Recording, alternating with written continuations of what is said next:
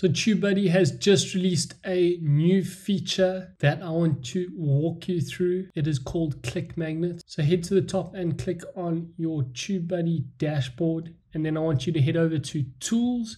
And then you'll see under the Keyword Explorer, there is Click Magnet. And click on Launch Click Magnet now. So you can see Click Magnet is in beta preview and you can expand your audience and drive more meaningful views by turning your videos into click magnets.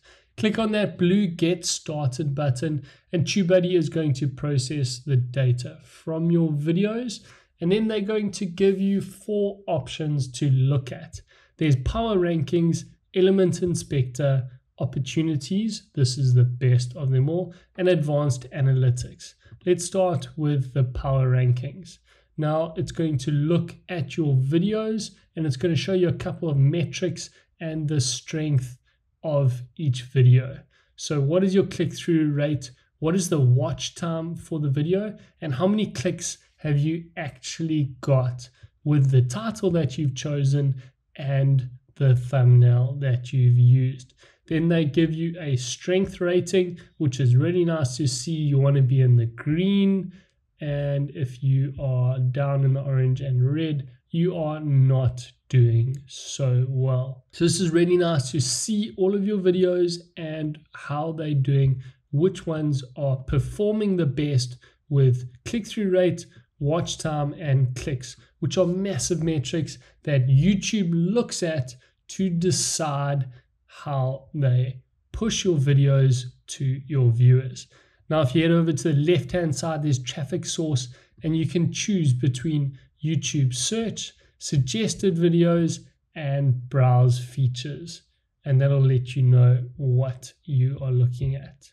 And then we can head back. Let's look at the second tool, and that is the element inspector. Now, this is really interesting. So, it's going to look at your aggregate click through rates so for videos that have faces in the thumbnail versus videos that don't have a face.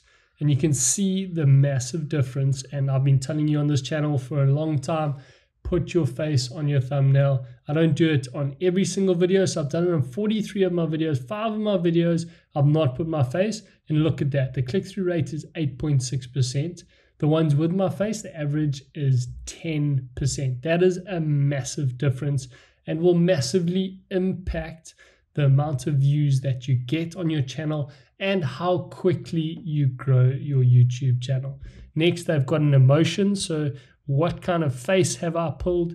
On that thumbnail. Is it happy? Is it sad? Is it surprised? Is it calm? Most of the time, I'm happy because I have people like you who watch my YouTube videos and support the channel. So, thanks and shout out to all of you and hit that like button if you're enjoying this video.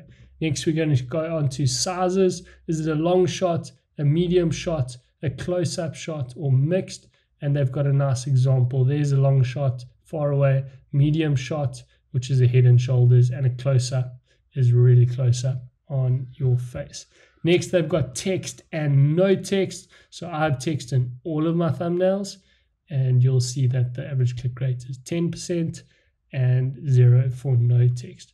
Words in the title, it's interesting to see what kind of words you use that get the best click through rates. Change is my best, your is my second best. Account where I teach you how to verify your account and verify. Then there's YouTube 11%, and the last one is the year 2020, which creates a bit of relevancy. Let's head back and look at our third tool, my favorite, the opportunities. Now, this is great for you to find new opportunities to increase your views on videos you have already created. Now, this is a no brainer because you can get more views without doing much work. All you need to do here is identify which of these click through rates you can improve, and then you can head back and either do an A B test inside of TubeBuddy, which is a great way to do it. So you can test two thumbnails against each other. However, you do need the paid version of TubeBuddy for this. I definitely think it's worth it. I currently use it and test a lot of my thumbnails in this A B test. The other way to do it is the metrics that we just looked at in that second tool use those to see how you could increase your click through rate. What words can you use? Can you use a close up shot? Is it better? And do you need to add your face into the thumbnail? So look at this one, TubeBuddy versus vidIQ. We could increase this click-through rate by putting my face inside of this. Remember, we were at about 10.6% click-through rate average if we had our face in there. So if we add our face, we're going to go from 9.2, hopefully up to around that 10% mark, which will get us more views really quickly and you can go through these and look at your performance. So that's a, a very average click through rate at 4%. We need to try increase that. Here's a click through rate of 5%. Maybe this is a bit too busy. We can clean it up a bit. Here's uh, one that we can increase the click through rate where it was a TubeBuddy tutorial. And maybe we just need to get something better that draws people in to increase that click through rate. It's a great place for you to see where your opportunities lie. And we're looking at impressions, average view duration, and increasing that click through rate to get more views on our channel. That's why I really like this click magnet tool.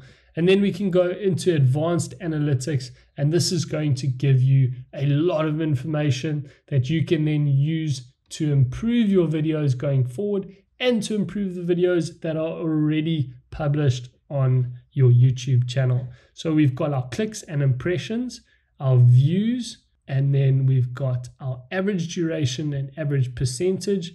We've got watch time per hour and total watch time, and a click through rate and a power ranking.